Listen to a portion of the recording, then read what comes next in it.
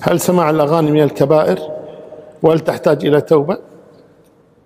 يعني قضية من الكبائر أو من الصغائر يعني ماذا يترتب على هذا الأمر؟ يعني هل إذا قلنا له هي من الكبائر سيقلع؟ إذا قلنا من الصغائر لن يقلع؟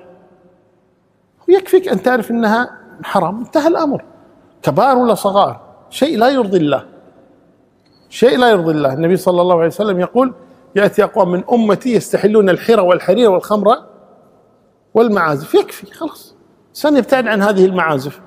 أما إذا كانت الأغاني بدون معازف ولا تغنيها نساء وليس فيها كلام فاحش أو يعني محرم بشكل عام مثل فخر أو سب أو قبيح أو كذا كلام عادي ما في بأس هذا كلام.